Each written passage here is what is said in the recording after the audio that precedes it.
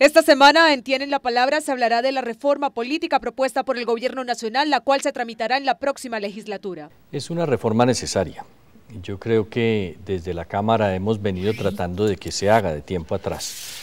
Primero tratando de regionalizar los senados, para que se establezca una relación directa entre el elector y el elegido. Una reforma política que debe tener en cuenta las verdaderas necesidades del país, así lo afirmó el senador Camilo Romero. Sin duda hay que hacer una reforma política en este país para que la participación ciudadana tome la preponderancia necesaria sobre un control político ineficiente en el país que ha sido el Congreso de la República. Digamos, si hay una institución más desprestigiada que el Congreso de la República, que me digan cuál es, porque no existe en el país.